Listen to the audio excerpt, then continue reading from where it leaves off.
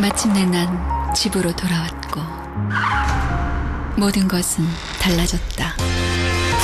그녀의 드라마가 다시 시작된다.